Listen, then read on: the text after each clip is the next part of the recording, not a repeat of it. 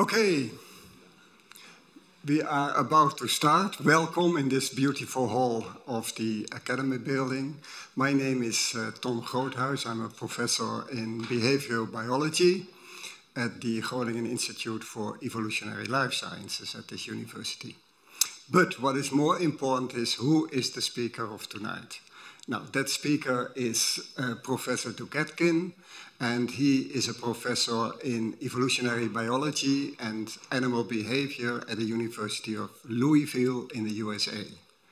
And his main interest is the evolution of social behavior. The, in addition to that, he has also a strong interest in the history of science. And tonight he will sort of integrate both and tell you really from the inside um, about a very interesting story on the history and the current developments of research on what he called domestication. Now, why is domestication so interesting for us? Now, he will talk about domestication of foxes, but as you know, the human species has domesticated many other animal species. So they, these species are really very important for us, and actually they might have influenced our own evolution. Apart from that, the insight we can get in studying domestication gives us really fundamental insight in how genes actually influence our behavior and the behavior of, of all our animals, and how evolution can change those behaviors. So what was found in uh, several domestication processes is that you, if you select for one type of behavior, say tameness, then you also select for a whole array of other behaviors sort of automatically. You get them freely together. So that means you get changes in aggressive behavior, sociability, uh, you, you get differences in collaboration, uh, you get differences in cognitive behaviors. So that tells us a little bit actually how genes shape behavior and how genetic networks are sort of selected by uh, evolution.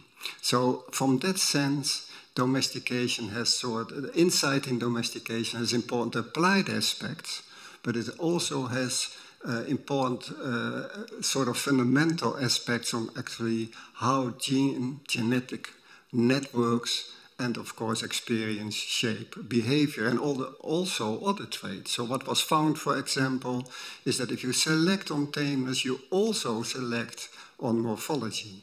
So you select not only on that the uh, animals become more tame, but that they also get a more cute sort of appearance. Aspects that we really like because we have a sort of innate tendency to find morphology that sort of links to the morphologies of babies, um, big eyes, flat noses. We like those very much. And actually, that uh, it seems as if if you select for tameness, you also indirectly select for those morphologies, which is a very intriguing phenomenon. Now, Lee is actually the best person to tell us about this. Uh, he is very, very active in translating uh, science to the general public. He wrote almost 10 books uh, translating this uh, for the, for the uh, general public. Uh, he wrote a couple of textbooks which are heavily used in universities for undergraduates. He has been invited for, I think, over 100 universities to talk for the general public. So he's really the, the guy to tell you and give you more insight, all the more because the book he wrote, uh, on which this talk is based, has been written by another author as a co author, and she was really uh, involved in this long term research. So you will get a story of research in progress. Lee, the floor is yours. Thank you.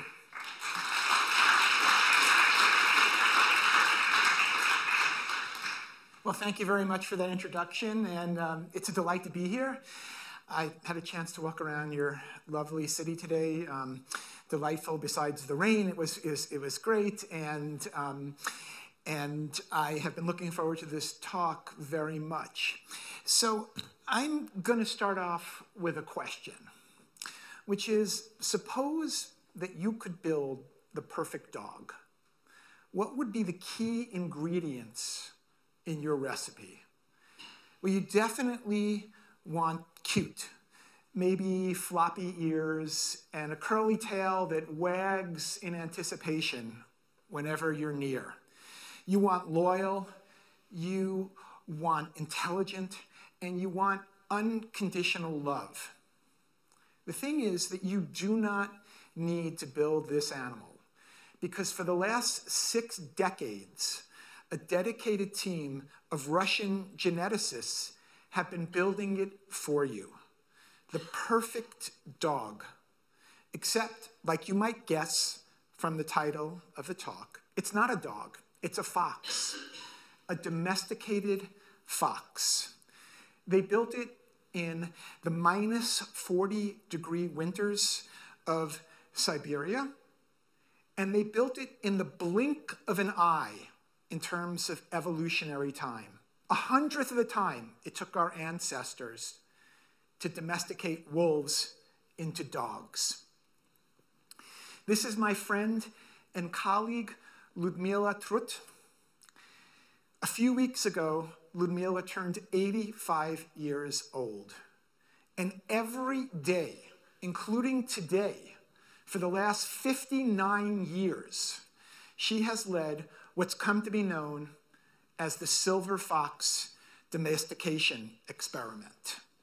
And for the last seven of those years, I've had the pleasure and the honor of working with Ludmila to try and tell this story to as broad an audience as possible.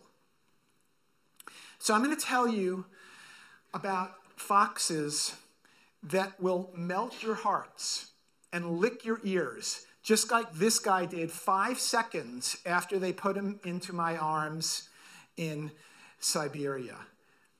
But more than that, I'm going to tell you about fundamental science that has reshaped the way that we think about this process of domestication. And domestication is important not only in terms of its inherent interest to biologists, but because when we domesticated species, we changed our own evolutionary trajectory. We would have gone down a very different path as humans if we had not domesticated animals and plants. So, for the next 40 minutes or so, I'm going to tell you about this long term experiment in domestication. We'll talk about the science. We'll talk about some political intrigue that was involved in the early years of the experiment, and we'll even talk about a few human fox love stories. So the experiment starts with this fellow here, Dmitry Belyaev. In the late 1930s, Belyaev was an, was an undergraduate student at a place called the Ivanovo Agricultural Academy outside of Moscow. And while he was there, he studied genetics. And because it was an agricultural college, he had all sorts of interactions with many, many domesticated species. When he graduated, like almost every Soviet male of that era, he went and fought in World War II for four years. When he came back, he got a position as a research scientist at a place known as the Central Research Lab for Fur Breeding Animals, also in Moscow. And they worked with all sorts of fur breeding animals, but the two most important by far were foxes and mink. And the reason those were so important was that in the early 40s, and throughout that decade, the Soviet Union was essentially starving to death. They desperately needed Western currency coming into the country. And fox fur and mink fur were two of the very few reliable sources of Western currency coming into the country. And it was while Belyaev was at the Central Research Lab that he came up with the idea that would eventually turn into the silver fox domestication experiment. And here's how it started. Belyaev knew from his own interactions with domesticated species, and also from his reading of Darwin's book about this topic, that many domesticated species share a whole suite of characteristics. So, for example, they tend to have floppy ears. They tend to have curly tails. They tend to have low stress hormone levels. They tend to have juvenilized body and facial features. They tend to have lots of variation in their coat color. And they tend to have a longer reproductive period than their wild ancestors. Not every domesticated species has every one of those characteristics, but most domesticated species have most of those characteristics. So much so that today we refer to that whole suite of traits, the floppy ears and the curly tails and the juvenilized facial features and so on, we refer to that as the domestication syndrome. And Belyaev thought about this and he thought, you know, this is really odd. Because our ancestors domesticated species for all sorts of different reasons. Some species, like horses, we domesticated for transportation. Others, we domesticated as food sources. And yet others, we domesticated for protection and companionship. And yet, no matter what we domesticate them for, they tend to have all these characteristics in the domestication syndrome. Why? And Belyaev's hypothesis, and at the time it was fairly radical, was this that the one thing that our ancestors always needed, regardless of what they were domesticating for transportation or food or protection the one thing they always needed was to be working with an animal that not, did not try to bite their heads off. And so he hypothesized that the early stages of all domestication events involved our ancestors choosing the calmest, tamest, most pro social towards human animals. He further hypothesized that somehow or another, and he didn't know how, all those other things, the floppy ears and the curly tails and the low stress hormone levels, all of those came along for the ride if you just choose on tame, pro social to human behavior. And he decided that he would try and test this idea in real time using the foxes that he had come to know so well at the Central Research Lab. And his idea was basic. Ideally, he would test hundreds of animals every year. And he would choose the calmest, most friendly to human animals and breed those. When their pups grew up, he would test them and he would see who was the friendliest towards humans. And then they would breed for the next generation. Year after year after year. Every foxes breed once a year, so a year is a generation. And he would do this over and over, and he would see was he actually getting more pro social animals? And was he starting to see those other characteristics that we see in domesticated species? That was the idea. But he had a problem, and it was a big problem. Because any experiment like this in domestication is, by its very nature, an experiment in genetics. But at this time, in the Soviet Union, it was illegal to do modern genetics. And the reason for that is this person right here, Trofim Lysenko. Lysenko was a charlatan, a fraud, a pseudoscientist who had risen up not only in the scientific ranks of the Soviet Union, but in the political ranks.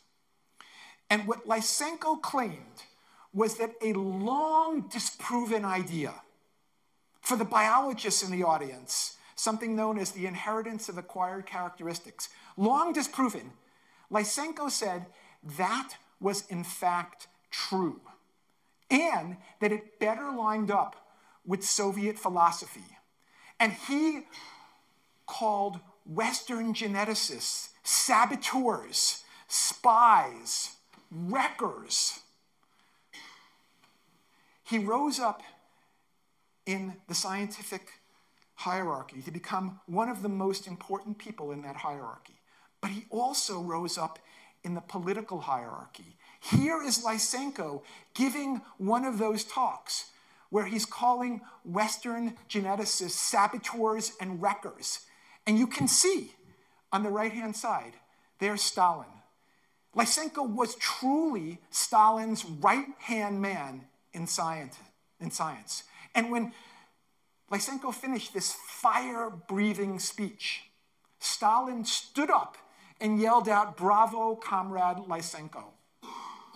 Because of Lysenko, thousands of Soviet geneticists lost their jobs. Hundreds were thrown into prison, and a few dozen were murdered, and their crime was being Western, doing Western Mendelian genetics. This is the environment in which Belyaev is coming up with his idea for the domestication experiment.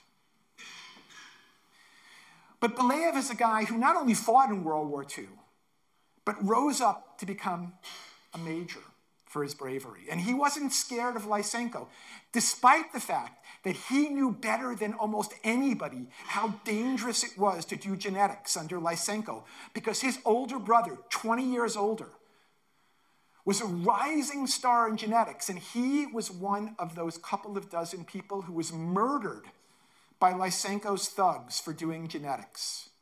But Belyaev decided he was going to do this experiment. He would be careful because he knew eventually it would involve lots of people, but he was going to do it. First, he does a little pilot experiment in Estonia, working with a colleague of his. And they only test a couple of dozen foxes every year, and they choose the ones that are most friendly to humans. And they do this for a few years, very small sample size, but the results are promising, promising enough to think about doing a full blown experiment. And Belyaev gets the chance to start that full blown experiment in 1958 when he gets a position as vice director at a major new institute in biology in a place called Novosibirsk, which is in Siberia. What happened was that the Russian government had cleared out a gigantic chunk of Siberian forest and built a place called Akademgorodok, the academic village.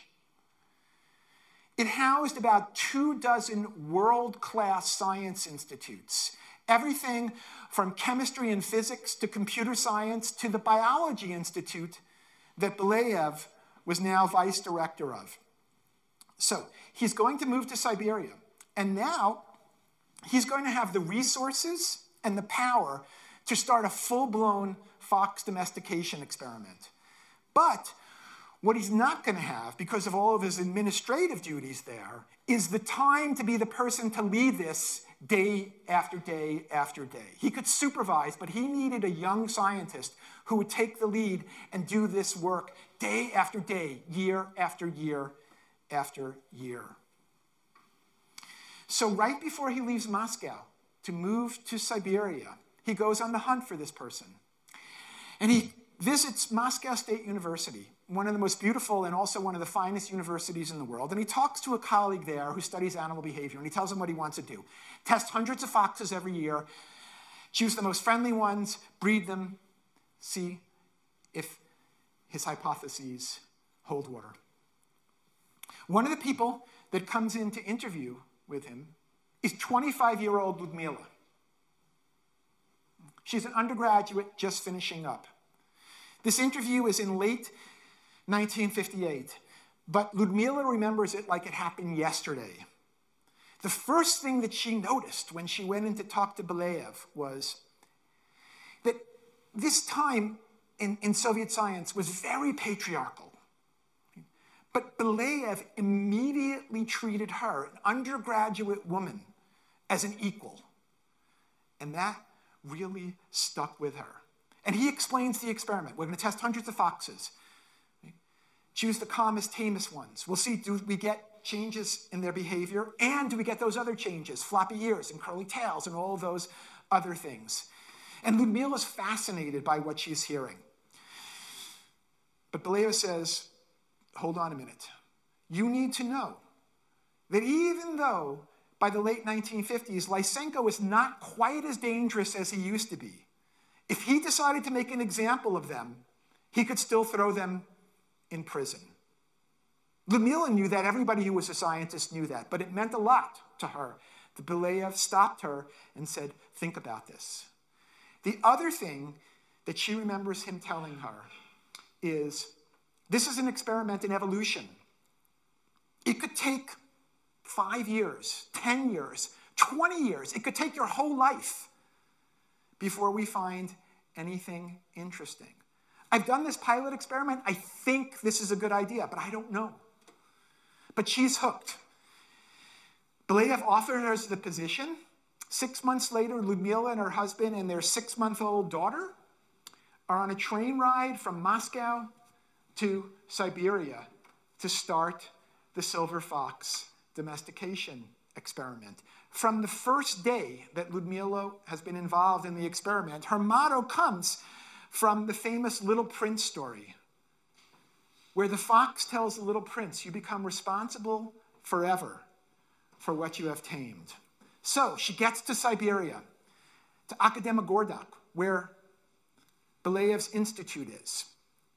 And she's ready to start. But while Belyaev has money and power, he has not yet built an experimental farm where they can do the fox work. So, for the first few years of the experiment, Ludmila is going to have to find someplace else to begin the work.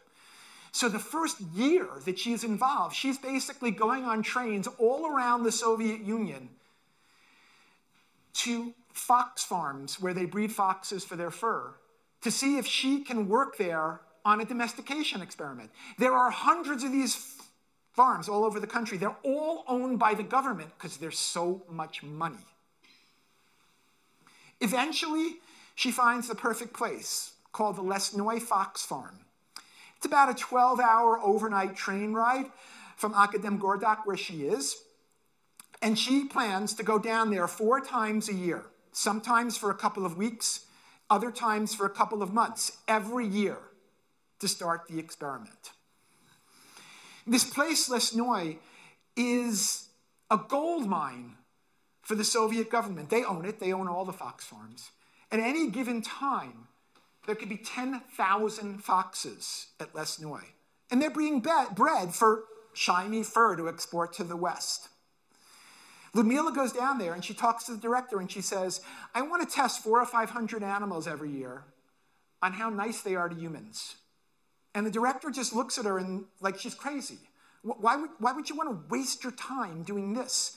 When there's so much money in fox fur. But she says, Belyaev sent me, that's enough. And he says, fine, go ahead. So she develops this routine. Six o'clock in the morning, she starts, and she goes methodically from fox cage to fox cage, and she's going to test on any given year about four or 500 foxes. And she's going to test them twice once when they're a pup, and then once when they're an adult. And the tests are very simple.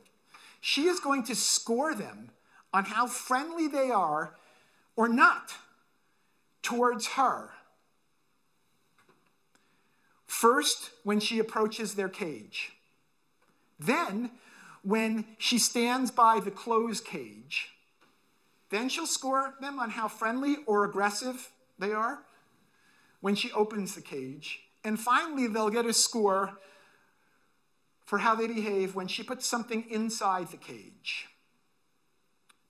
And they're scored on a scale of one to four, and high numbers mean relatively calm, and low numbers mean relatively aggressive. So they get a composite score for these things, and then they're tested once when they're a pup like this, and then once when they're an adult. And then every generation from these four or 500 foxes that she's going to test, she's going to take the 10% that are calmest, most friendly to humans, and breed them, and they'll produce the pups for the next generation. Now, at the start, these were essentially wild foxes. Ludmila describes them as fire breathing dragons for the most part. But there was variation. Some of them were really fire breathing dragons, and others were a little calmer, a little less aggressive. Foxes like this one here, Laska, who was calm enough in just the second year of the experiment that Ludmila could pick her up and hold her, giving Ludmila hope that the experiment might work. So she does this year after year after year, choosing the calmest, tamest ones.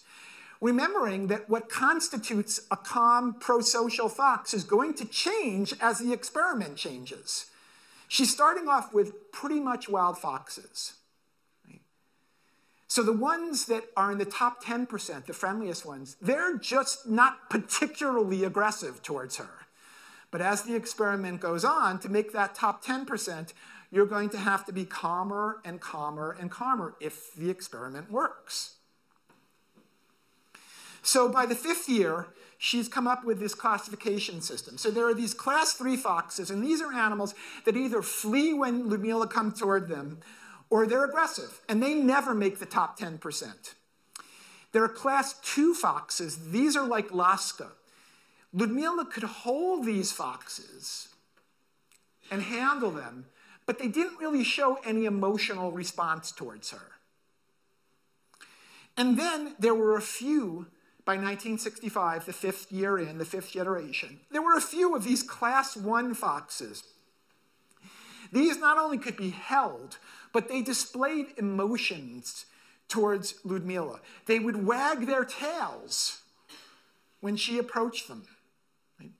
They would whine the way that your dog whines when you leave.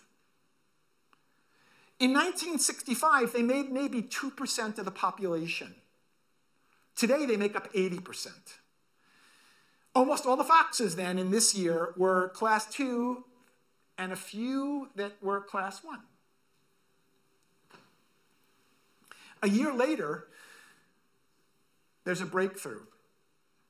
And Ludmila has to come up with another category that she refers to as the class one elites. And I'll let her words describe what she found. So this is the sixth generation. Ludmila says there appeared pups that eagerly sought contact with humans, not only wagging their tails, but also whining, whimpering, and licking our hands in a dog like manner. What's more, in this generation, they weren't just wagging their tails. Some of the class one foxes were wagging their curly tails.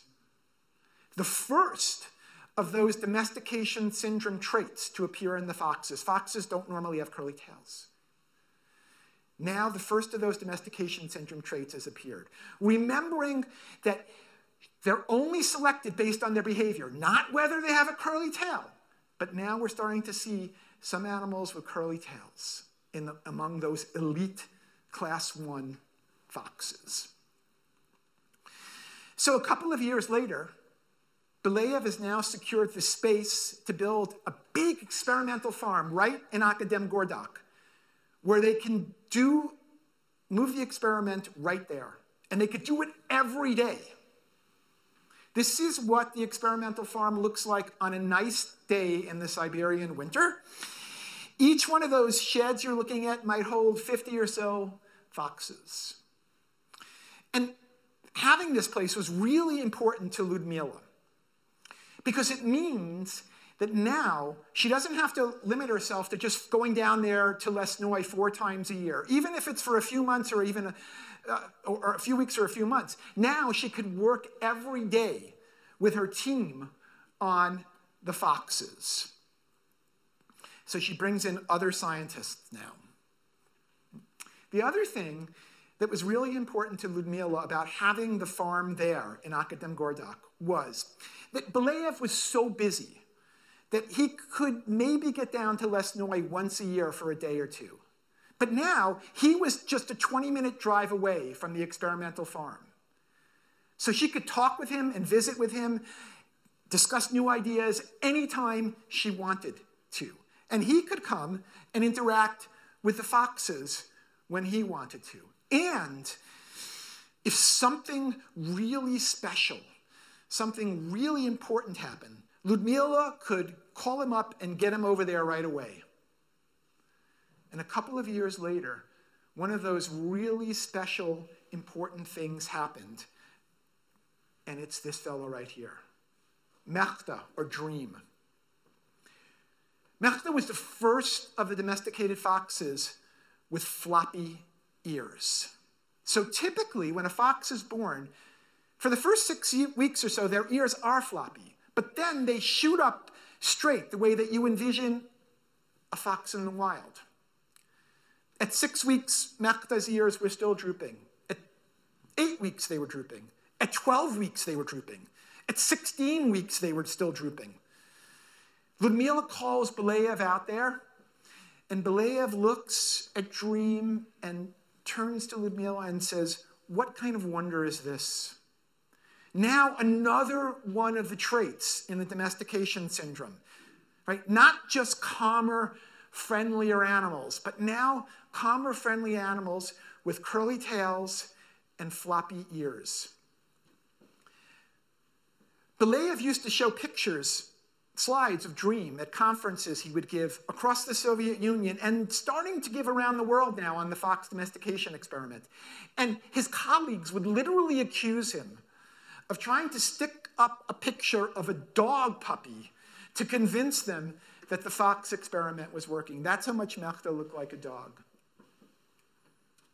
Remembering always that the only thing that matters when they're choosing which foxes are going to breed is how friendly they are. Not if they have floppy ears, not if they have curly tails. These things are coming along for the ride.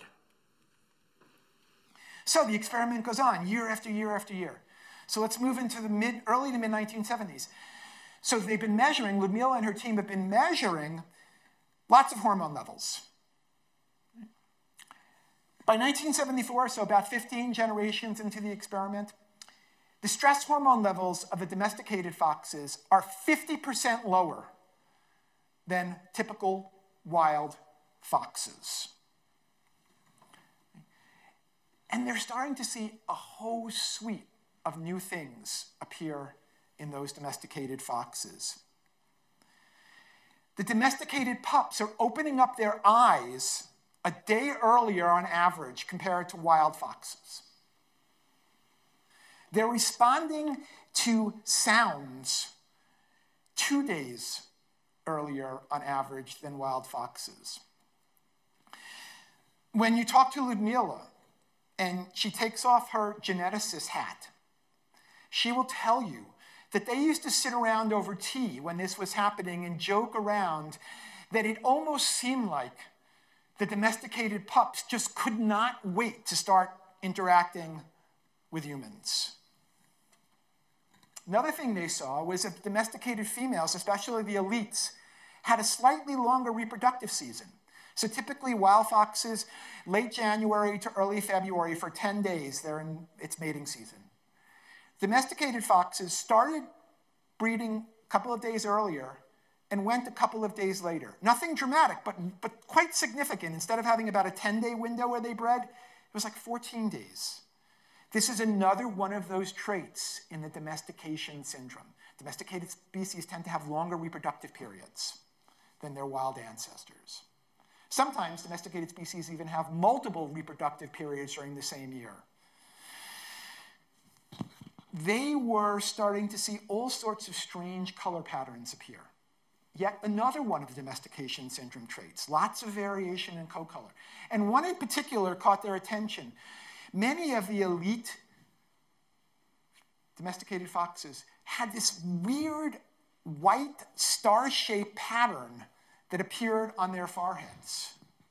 If any of you know about horses, this is sometimes something you see in horses, and you see it in other domesticated species as well. Now it was appearing in domesticated foxes, and many, many, many other traits.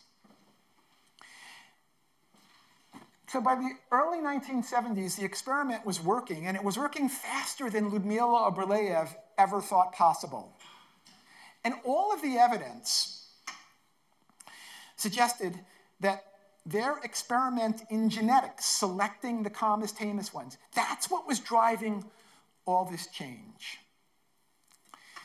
In the early 1970s, they expanded the experiment.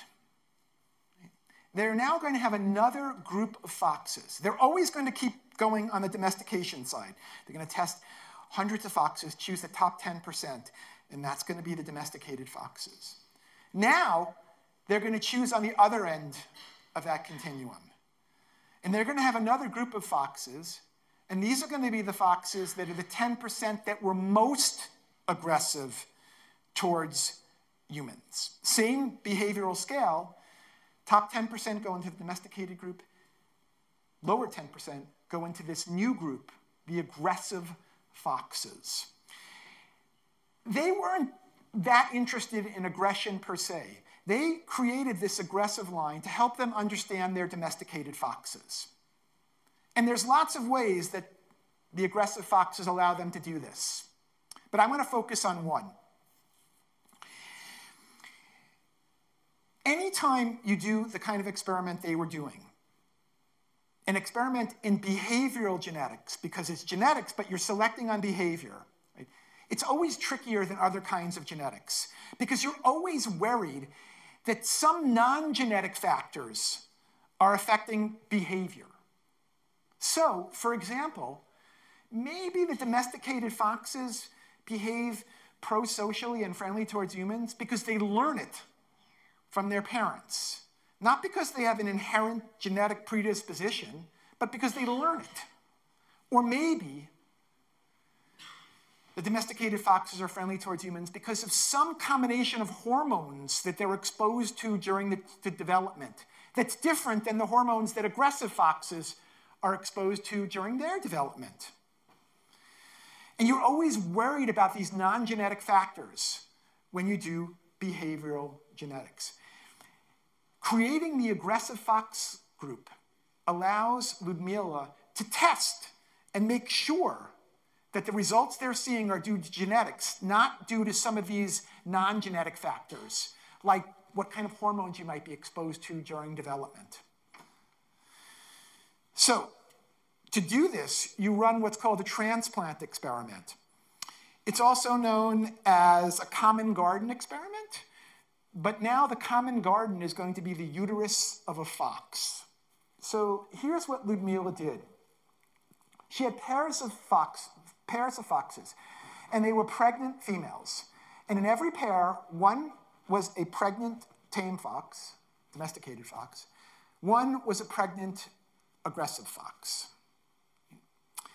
Despite the fact that no one had ever tried this, she learned the very intricate, complicated method for transferring early embryos from one fox uterus to another. So here's what the uterine horn of a fox looks like. So each one of those that you're looking at here, each one of those eggs is a developing embryo. So, you know, they have somewhere like six or seven developing embryos in their uterus. What Ludmila did was she took one week old embryos that were, you know, you couldn't even see them with your bare eye, and she transferred them.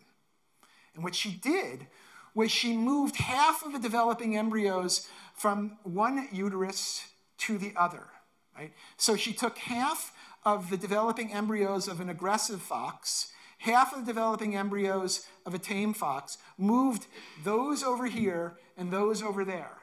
So now each pregnant female had about half of her developing, uh, half of the, uh, of the embryos developing were her genetic embryos, and the other half were foster embryos that had been transferred by Ludmila, both in the aggressive mother and the tame mother. And she had about six pairs like this.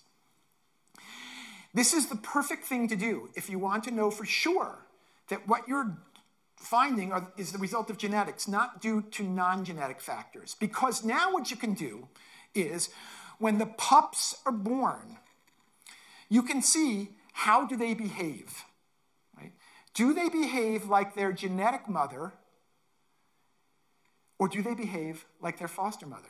So, for example, do the developing embryos that Ludmila moved over from a tame mom to the aggressive mom, when they're born, having developed in the uterus of an aggressive mother, do they behave like their genetic mother or do they behave like their foster mother? If they behave like their genetic mother, regardless of whether they happen to develop in her uterus or somewhere else, then you know the results you're looking at are due to genetic changes.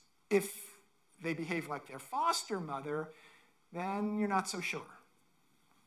So, Ludmila sets up the experiment, but she has a little bit of a problem. And the problem is this when she moves the embryos from one uterus to the other, she knows who's who. But how in the world is she going to know who's who when they're born? The foxes themselves provide the answer because fur coloration is very tightly controlled genetically.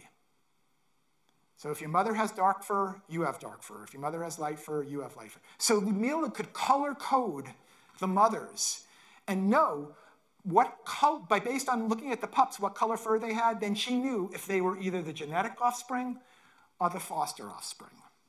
So she's waiting. At this time, I just want to take a mention quickly a, a, an important group of people that are involved in this experiment. There's Ludmila and all the scientists. But there are a whole team of dozens of people that Ludmila refers to as sort of the workers. Right? You have 700 foxes. Somebody has to feed those foxes. Somebody has to change the bedding in their cages. Somebody has to do the everyday work of keeping them healthy. That's what the workers did. And the workers tended to be poor women from a local village. These women they didn't understand the details of the experiment, but they understood it was important science. And they often went far beyond the call in order to help with the experiment. And it was the workers that first saw the pups being born. And they ran to Ludmila's office with cake and wine and had a giant celebration that the pups were born. And now Ludmila a couple of weeks later, when they're up and walking around, she could watch the pups and see what they do. So, here's the results of, of one of these transplants. And I'm going to talk to you about the pups that were born to an aggressive mom. Okay? And this is in Ludmila's own words. So it was fascinating. The aggressive mother had both tame and aggressive offspring. That was because of the transplant experiment. Half of them were her own genetic offspring, and half of them were foster offspring. Her foster tame offspring were barely walking, but if there was a human standing by, they were already rushing to the cage doors and wagging their tails, just like their genetic mother. The aggressive mother was punishing her foster tame pups for such, I love this phrase, improper behavior. She growled at them, picked them up, threw them into the back of the cage. What did they do but get up, walk to the front of the cage, and try to lick Ludmila's hands again? They behaved exactly like their genetic mothers, not like their foster mother. Okay, that's half of the pups that were born. Now, the other half, which are the aggressive mother's genetic offspring, same cage with that mother there. Again, in Ludmila's words, what did they do? I love this phrase too. They retained their dignity, growling aggressively, the same as their mothers, and running to the nest. They behave like their genetic mom. When she looked at the pups born to a tame mother rather than this aggressive mother, same thing. The pups behave like their genetic mother, not like their foster mother. Very strong evidence that we're looking at genetic change. So, experiments going on and on. And In the mid 70s, Ludmila decides to see just how far down the path of domestication these foxes have come. So she goes to Belyaev with this audacious idea. She says there's this little house on the experimental farm. I want to move in there with one of the tame females and live with them the way that we live with our dogs.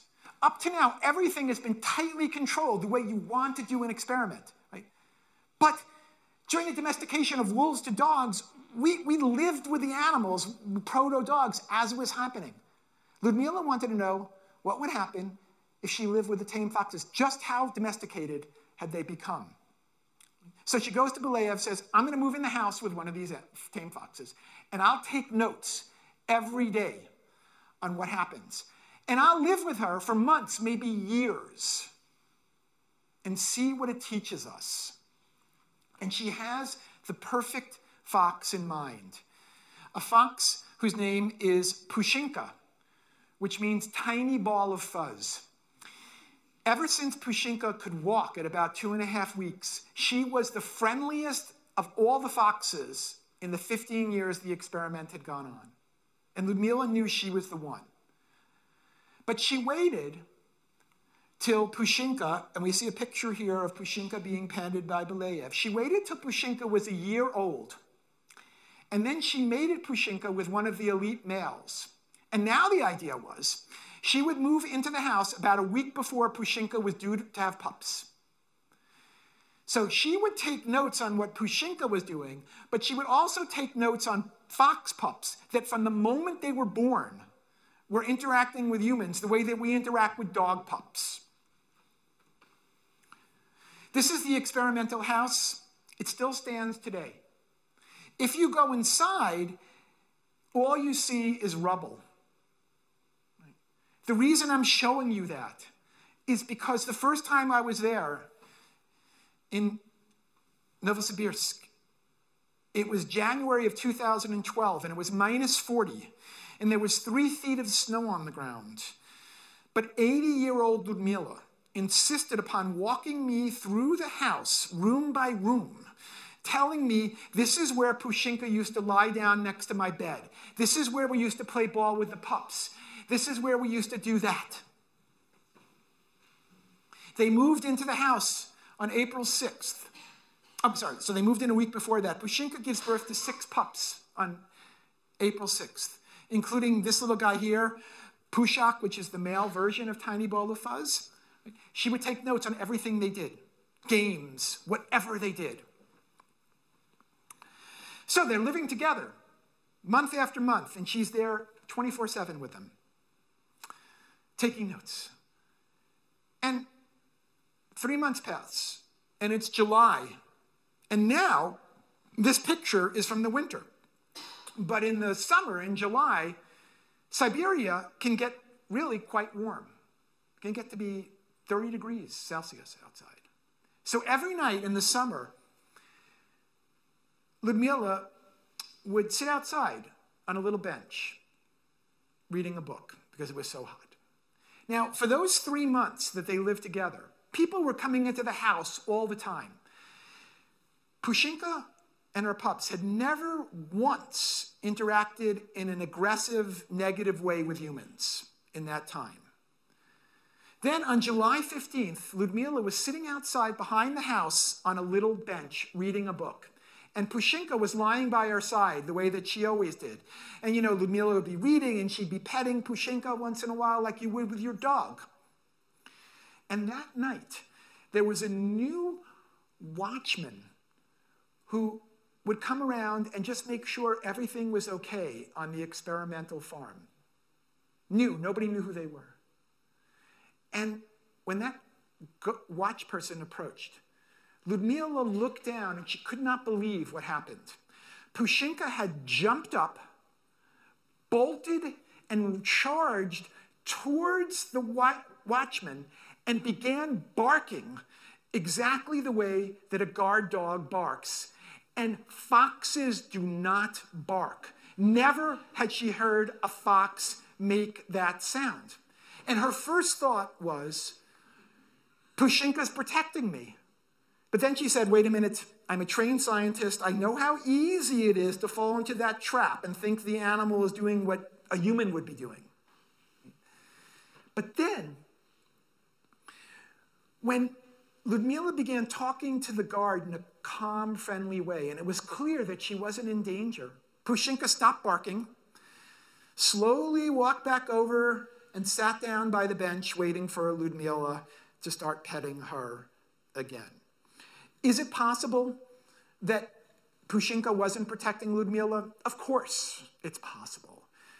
But Ludmila will tell you from that night forward, she knew the foxes had come down that path of domestication far enough that she could never leave the experiment because you become responsible forever for what you have tamed, and she never has. Let me just quickly touch on a couple of other incredible things they found more recently. So I mentioned before that the, the domesticated fox had a slightly longer reproductive period. But in the early 1980s, something remarkable happened. One year, a few, just three or four or so, of the elite domesticated females were ready to breed a second time during the year, not just in January, but in September. And Ludmila found a few of the elite males that would breed with them. And those females produced a second clutch of pups, never heard of in foxes before. But this is the sort of thing that's associated with domestication. Longer reproductive periods and also sometimes multiple reproductive periods. Wolves only breed once a year, but dogs breed lots, many can breed many times during the year. A small number of the foxes were doing that.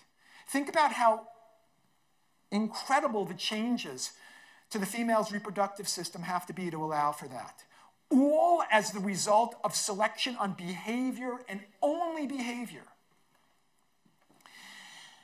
As we move forward, by the early 80s and into the 90s, they had some sophisticated machinery that allowed them to measure the faces and bodies of the foxes. And what they found was the domesticated foxes were beginning to look eerily like dogs. When you think of a fox in the wild, you think of that long snout. Domesticated foxes, and I'm trying to, I have to go, I know, I'll try to do it on both sides, have rounder, shorter, more dog like snouts. The other thing you might think of when you think of a fox in the wild is they have those very thin, gracile limbs that they run around on. Domesticated foxes are sort of chunkier and lower to the ground. All those changes also due to selection on behavior and only behavior. If we go even closer to the modern day, Ludmila has been working with molecular geneticists, one in particular by the name of Anna Kukekova. And so Anna approached Ludmila um, in the late 1990s about doing some molecular genetics work. And she learned something that everybody who works with Ludmila learns, which is that if you can help her understand those domesticated foxes, she will begin working with you. And she will do so at a rate that will make your head spin. And so they began taking blood samples and doing molecular genetic analyses on the domesticated foxes. And they found all sorts of things, and, and, but I just want to talk about one here. So they started off by asking this question. We've got all these changes that we're seeing in the domesticated foxes. At the genetic level, deep down, are those genetic changes kind of spread all over the fox's genome across many, many different chromosomes, or are they localized? Do you find it in, in a hot spot associated with domestication? That was their first question. And what they found was that certainly not all of the underlying genetic changes, but many of them were associated with just a couple of chromosomes. Most uh, uh, the early work suggested Fox chromosome 12 in particular. For the biologists out there, there are a couple of QTLs here that are really important. But, but, but basically, what they found was that many of the underlying molecular genetic changes had occurred localized in one place, Fox chromosome 12. There is this kind of hot spot. Right? That's interesting. Didn't have to be that way. More interesting is that at the same time, dog geneticists were asking the same question about dog domestication. So, without getting too technical, foxes and dogs have different numbers of chromosomes. Fox chromosome 12 is essentially spread over three dog chromosomes. And lo and behold, many of the changes associated with dog domestication occurs on one of these chromosomes. So it looks like they're, they're truly mimicking this process of, that, that occurred when our ancestors domesticated wolves into dogs. And there's all sorts of new stuff coming out, particular genes that might be of interest. The last six months, there's been a whole bunch of papers on this. Last thing, I want to tell you my, maybe my favorite trait about the domesticated foxes. Now, this is the newest thing they discovered. They've only known about this for about 10 years. And before I tell you what it is, I want to tell you why I love this so much. The first thing is think about it. They only found this about 10 years ago. Right? That means the experiment had been going on almost 50 years before this appeared. If any one of us in the audience worked on a system for 30 years, we could start collecting our lifetime achievement awards, and we wouldn't have even come close to working on it long enough to see this. This is, tells us the power of long term experiments. The other reason I love this trait is it's hard to imagine anything more wonderful in a pet like animal. So here's what happened um, a, a, woman by the name of Svetlana Gogoleva, who is an animal behaviorist at Moscow State University, and she studies the sounds, the vocalizations that all sorts of animals make. And she approached Ludmila and said, I'd like to come there and study the vocalizations that the, the tame fox, the domesticated foxes make and the aggressive foxes make, and, and just see what I, can, what I could discover. And Ludmila said, sure. So Svetlana came year after year. She had about 2,000 hours of tapes of these animals. And basically, if you look across all the foxes, the tame foxes and the aggressive foxes, they make about eight different sounds. But it turns out that the domesticated foxes make two sounds that no other foxes make. Okay? And I want to talk about one of them. Right? This is a sound that domesticated foxes make and aggressive foxes don't make and wild foxes don't make. Domesticated, almost all of domesticated foxes make this sound, and they almost all make it from when they're pups. And here's what it sounds like. Oh, come on.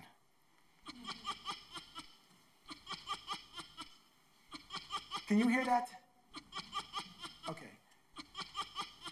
There is no non human sound that is closer to human laughter than that sound you're listening to.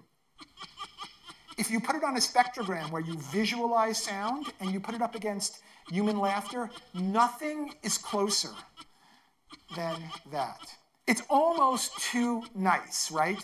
Not only do you have these loving, caring foxes that look like dogs, they also make laughing like sounds, both when you want to laugh and also when you don't, because of course they're not making this in respect to anything going on, they're just making this sound. It's exactly the sort of thing you'd like to have in your pet. It's the one, it's the trait they understand least. They don't know why or how, domesticated foxes make this and why the other foxes don't, but they're working on it. So if you ask Ludmila today, 59 years later, after she started, what are her hopes and dreams? Um, I asked her, there's a six hour answer version, and then there's the version I'll give you, which is just highlighting a couple of things that she wants and hopes for. The first one is she says, I hope that it's possible to register them as a new pet species. So they, they essentially are a pet species, but technically, in order to be a house pet, you have to go through um, an international group that certifies that. Otherwise, you're considered an exotic species, and that's what they're considered now. The thing about that means that there are maybe a couple of dozen of these foxes living in people's houses around the world. You can buy them, they're extremely expensive, and all the money, though, goes right to the experiment. But, you know, it depends. I don't know what the rules are. for the Netherlands. They're probably different than the rules for the United States, which are probably different than the rules from France and different from the rules in England. When it's an exotic species, it varies. It probably, I wouldn't be surprised, I know in the United States, it varies from state to state whether allowed you, you can have these foxes when they, because they're considered exotic. I, I bet it differs from Amsterdam to here. But when you get them officially registered as a pet species, then they can be anywhere. And our hope is that that'll happen. They're working on it. They could keep the experiment going, and they will, and still have dozens, if not a couple of hundred foxes that they could put in people's houses every year. Because they are pets, and they do eventually want lots of them to be in people's houses. They're working on it. The other thing Ludmila will tell you is one day I'll be gone, but I want my foxes and the experiment to live forever. I do, and I hope you do as well. And thank you very much for staying this long on a cold night.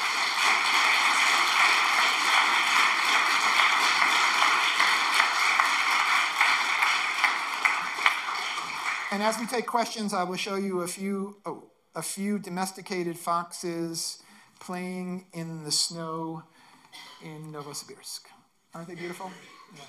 Okay, thank you very much. We have time for questions, about half an hour, I guess. So, who would be the first? Yeah, over there.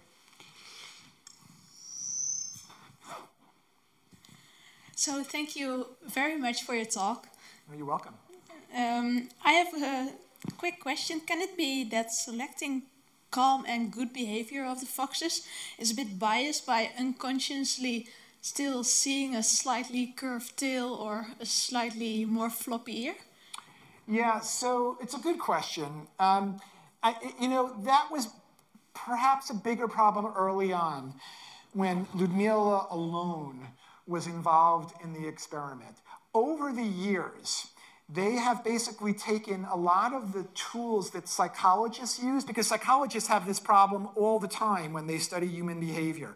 And there are lots of things you can do to minimize it. So, for example, you can have multiple observers, and then you can cross and see if they both are rating things exactly the same. It's also a much more complicated system than that four step process that I talked to you about with Ludmila. Today, they measure dozens of different things about the foxes. And so, between that and having multiple observers where you correlate to see if, if individuals are consistently choosing the same foxes, you minimize that to the you know, to the extent that you can. I mean, you, that's the best you can do when, when you work with these kinds of experiments. They certainly are consciously, you know, choosing based on behavior and not paying attention to the curly tails, but you, you know, you always have to worry about these unconscious biases, and they do what they can to minimize that. Um, and so I, I would say also, that's why things like the cross fostering experiment are so important. Yeah, I really like that one. Yeah. It's very Yeah, it, interesting. and that's one that almost no one knows about because it's in, even by Soviet journal standards, it was an obscure journal that they published that in. and do you know why the, the floppy tails and the curled uh, tail, wait, the curled tails and the floppy ears uh, involved? Is it just coincidence or? Um, do we have another hour? No, yes, okay. so, um, hmm, yes, um, so I, I'm not going to get into this, but there is a, um, a, a theory that deals with a kind of stem cell known as a neural crest cell. And um, let, me, let me just actually get to a nice picture here, sorry. Um, these neural crest cells, because they're a stem-like cell, they can develop into almost any kind of cell in an adult fox. And they, they're involved in almost every one of the traits that we've been talking about. So they're involved in cartilage, which has something to do with curly ears and floppy tails. They turn into melanocytes, so they have something to do with the coloration. They're involved in the facial structure. They're involved in almost everything that's part of the domestication syndrome. And here's what we know, and we being you know, not me, but, but, but, but people who have worked on this in developmental biology, because they're kind of stem cell developmental biologists have been interested in this in a long time. Turns out that when you choose for calm, friendly behavior, you are also choosing for fewer neural crest cells. And they migrate out to, be, to all these different parts of the body. That's a dog, but, it, but it's true for a fox too. And the changes to having fewer neural crest cells migrating map nicely onto almost all of the domestication syndrome traits. So that's the working hypothesis. Select on behavior. One of the things you're doing is decreasing the number of these important cells that move out to become all sorts of characteristics in the adult animal in a way that creates the other traits in the domestication syndrome. That's the working hypothesis.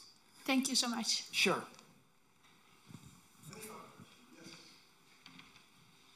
Um, hi, thanks uh, also for me. Great talk. Um, so, you've talked a lot about the physical characteristics uh, that accompany uh, the domestication. What about, um, shall we call them, the mental capabilities, the fox's capacity to learn, to be trained? Um, did you notice any patterns there? Yeah we really should have had a two-hour version of this because I yes yes so they so yes um, there's a fellow by the name of Brian Hare who is an expert in dog behavior and evolution and Brian went and spent some time with the foxes and he did this incredible experiment in what's known as social cognition so one of the things that's really special about dogs and was probably really important while we were domesticating them is that they're good at following human gaze and human pointing.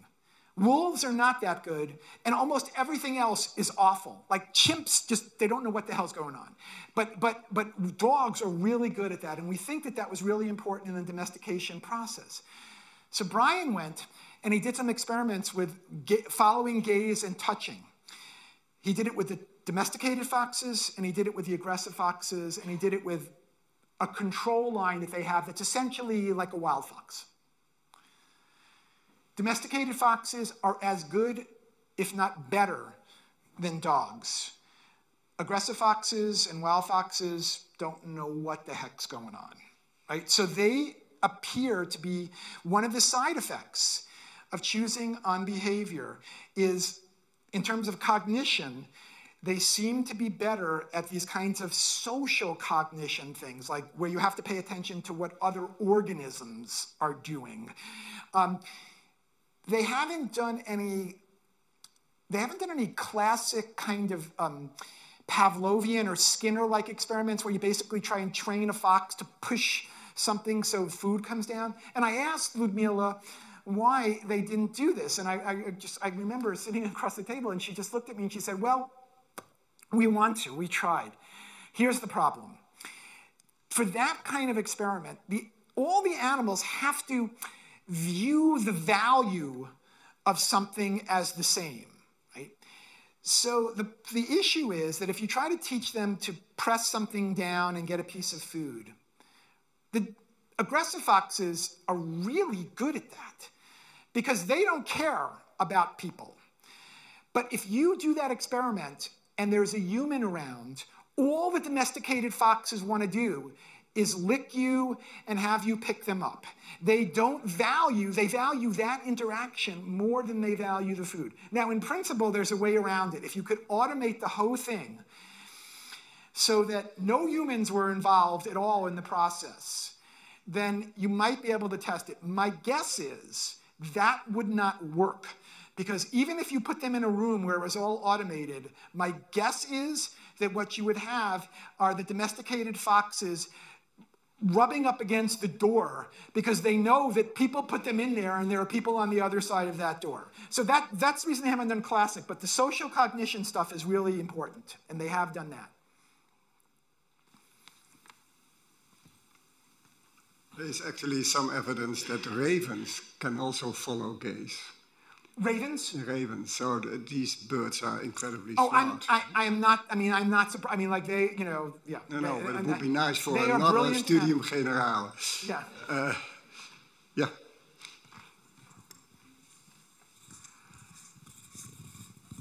Uh, thank you. My pleasure. I want to ask you something about uh, behavior and adult behavior. Can you tell something about that? What social behavior is more like pups do, and adults less. Uh, is there a change in that uh, by wild animals? There's a, a border between pup stadium and adult stadium. Yeah, so I um, uh, I was sort of emphasizing when it came to like juvenile, younger characteristics, I was emphasizing that their faces and their bodies, so their faces are actually sort of more pup-like than, than a normal fox is. So when they're pups, regular foxes do have a more rounded snout and it becomes longer during development.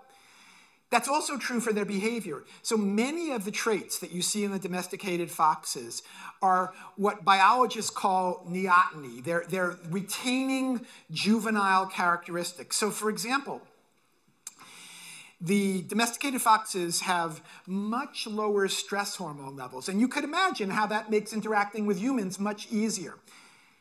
Normally, if you go to, if you, if you if you work with wild foxes and you measure their stress hormone levels, they actually have relatively low stress hormone levels right up until the age when they start becoming more independent and not reliant on their mother, which makes perfect sense. You don't have to worry about things the same way when your mother is taking care of you. When, you're, when you start to be independent, then you have to be paying attention and, and much more stressed about predators and finding food. So the domesticated foxes, again, are, are retaining this juvenile characteristic. In wild foxes, they have low stress hormone levels and then they get really high when they become independent. The, the, domesticated foxes are essentially holding on to that juvenile characteristic. And that translates into them being behaviorally more like pups than adults. Does that answer the question?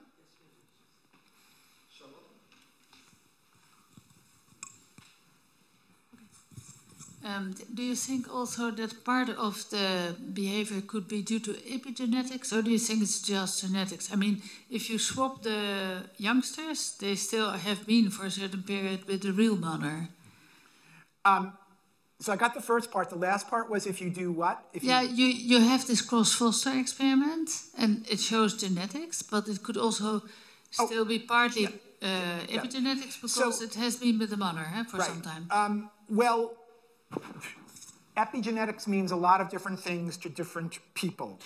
Um, but there is a real strong epigenetic component, and, th and this is what they've been finding, and the, there's been a couple of nice papers about this. Basically, what they know is that many of the changes in the domesticated animals, some of them are sort of the classic evolutionary changes, meaning if you look at how common this gene is or that gene is in the domesticated foxes, it's different than in the aggressive foxes. That explains some of the difference, but a lot of it is not that there are different genes involved, but the genes are being turned on and turned off at different times. And there's lots and lots of work to suggest that the domesticated foxes have a whole suite of genes that are turned on earlier and turned off at different times than the tame, than the aggressive foxes. That's a kind of epigenetics, and that is really important in these foxes. Uh, yeah. Have they found any difference between when comparing aggressive foxes and uh, domesticated ones on the between foxes behavior? This is a great question. We were talking about this at dinner, and this is, I think, sort of the most bizarre, unexplained part of the experiment. So they haven't done a lot, okay, but they have done some behavioral experiments where they put two foxes together and just let them interact with each other. And if you put two foxes together long enough, one of them will be dominant and the other one will be submissive and subordinate to it. So they've put aggressive foxes and tame foxes together. Now you would think, or I would think, that the aggressive fox would always end up at the top there because they have, for example, they have um, much higher testosterone levels, much, um, they're, they're much more um, aggressive in general. Right? Well, they have much higher testosterone levels. And so you would think that would translate, but it doesn't. So basically, one of those two foxes will be dominant and the other will be submissive, but it doesn't, it's not correlated with whether you're aggressive or domesticated. And, and that makes, that's why I like, the term aggressive there is very confusing. I'm using the word aggressive in the sense that those animals were chosen based on if they're aggressive to humans. But when you put them with other foxes, they're not more or less aggressive with other foxes. That's really surprising, given all of the underlying hormonal changes. And I, you know, I, we, I, I'm not sure that I have a good explanation for it. We talked a little bit about it at, at dinner, yeah. Yeah, adding to that question, this this uh, the selection line for for aggression and the selection line for domestication. How does that relate to things that have been known about the natural variation in normal populations of, of the foxes? Any idea of the of the natural variation in variation in nature? Not a great deal of information. So I you know, when I was talking about those foxes that Ludmila worked with at the start in 1960, they're, they're close, but they're not really wild foxes because they are the result of fur breeding experiments. Now, those experiments are not designed to choose the calmest animals, but indirectly, they probably have had some effects like that. Um, in that population, the vast majority of the animals at the start were very aggressive um, or um, they, they, they fled when Ludmila came, and only a very small proportion showed anything that would be considered even neutral behavior. But there's not a lot of work that's been done on the wild populations. My guess is it would be sort of like what they had at the start of the 1960, but it's hard to say for sure. So, but there is no hint for coping, different coping strategies. The, the more aggressive one, the more socializing. There is no, right. We just don't know whether or not all of that, all of the interesting work that's been done, sort of mapping personalities onto animals. We don't know about that in natural populations of foxes. I'm not even sure. Yeah, I don't know how much we know about natural populations of canines, period. But I know that with the wild, with the foxes, they don't know a lot in nature. Well, we know some in great tits, but that's of course. I, that's right. Yeah. That's right. Yeah. Yeah. No. No. Right. I like that.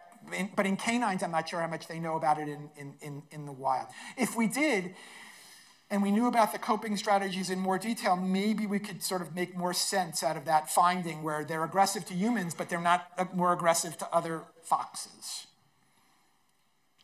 There has been done work on hyenas and wolves a little bit on this.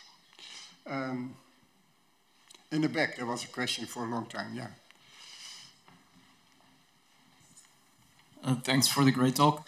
Um, I was wondering um, how are the differences between the genetically tame um, foxes, but when they were uh, uh, what was reared by uh, tame foxes, like in the foster experiments with the different uh, treatments. It's related to the question about um, epigenetics, but the other aspect of epigenetics.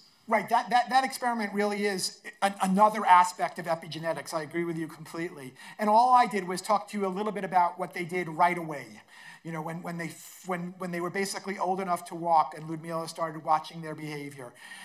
Um, she says that, you know, when they were taking records, those animals throughout their development behaved like their genetic mother even when they were raised, you know, not just immediately, but continually by a foster mother. And, and oftentimes, like you saw, at least with the aggressive foster mother, they were in fact being punished for, for, for some, and they still did it. Um, and they did that, you know, basically throughout their entire development. They behaved like their genetic mother, not like their foster mother. Strongly suggesting that that kind of epigenetic maternal effect is, is not critical for, the, for, for explaining what's going on with these foxes. If it was, then you would expect that at least there would be some evidence that they were sort of, maybe they were like their genetic mother, but, but, but also showed some tendencies of their foster mother, but they don't.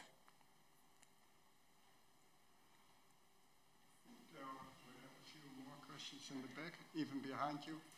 Yeah, to the right. Yeah.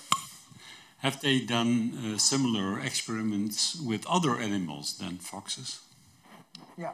Uh, we should have given me three hours. Uh, so, uh, uh, yes. Um, uh, so, where that experimental farm is, there are, like I said, six or 700 foxes. And a lot of people go there these days. You know, like a lot of researchers visit, and they're also getting to be quite famous. Everybody who goes to the farm goes to the foxes. But on the other side of the farm, they have been doing for 45 years a parallel experiment, exactly doing the same thing with mink, creating a domesticated line and an aggressive line. And the results are remarkably similar to the foxes. Not quite as sexy because they're smaller, so the differences are not as magnified. But, well, first you get strong responses to behavioral selection. So you get really, I mean, I, I interacted with these animals, and, and, the, and the domesticated ones, you open up their cage, and they will literally walk up your arm and sit on your shoulder. No training, just that's, that's the way they act. I mean, I still have nightmares about walking by those cages of the ones that are in the aggressive line. They're scarier in many ways. They're more demonic than the aggressive foxes.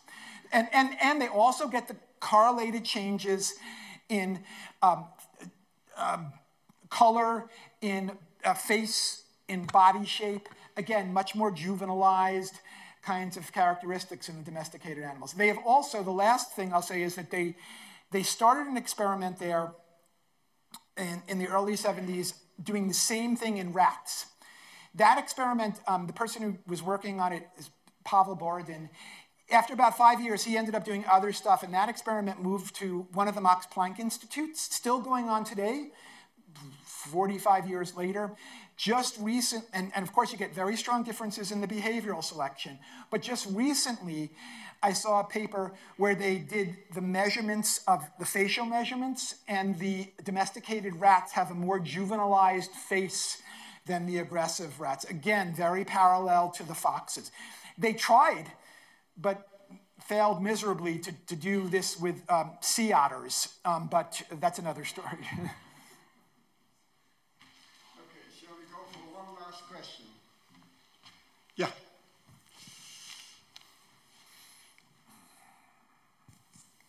Um, so, you, do you know if this friendliness trait is like a dominant or a recessive trait?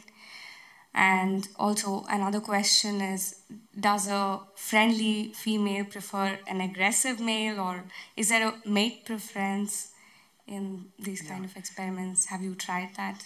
Sure. Um, with respect to the dominant recessive, we're talking about a lot of different genes that are involved and lots of differences in expression patterns. And so I don't know that there's any, um, I don't know how much evidence there is that many of the genes involved are dominant or recessive. I don't think there's a lot of evidence one way or the other on that. Um, I'd have to look again on that one. Um, the second part was, what was the second part? Um, preference of mates. Oh, oh, preference of mates, right. We, they don't know because these, Ludmila and her team are, you know, they're population geneticists. They're very, very meticulous. They create the breeding protocol for the experiment. So females do not have the choice between that male or that male. Ludmila and the team choose who's going to mate with who. Um, they, you know, in principle, they could do that experiment, but I don't think there's any uh, data on it one way or the other. It would be very interesting because um, you know, I'm not sure, given what I told you about what happens when you just put two same sex individuals together, I'm not really sure that they would show assortative mating or, or not. It's, it's hard to say. Thank you. Okay. Okay, end here because the, we have to leave the room at half past nine. But before we do that, I think we really should thank the speaker very much. I think uh, very much uh, thank you for sharing this very intriguing story in such a nice and enthusiastic way. I think actually you should give your talk for our policymakers. Because nowadays, you know, it's so hard to get funding for long-term research. Yes. Because, you know, they don't right. like to have the risk And this in is the poster- They don't know beforehand what the Right. results. This should be a poster for how why long-term experiments are important. I, I agree with you completely. Agree. Okay, but before we go, Yes. um, you might step down if you like. Okay, yeah, I feel I yeah, I'm not used to I feel like I should be giving a sermon up there, so I I'm good. The tradition is that uh, we hand over a token of our gratitude Oh. that you would be uh, willing to come over all the way from the USA. My pleasure. Thank you very much. Thank you. Oh, And let's thank the speaker. Thank you.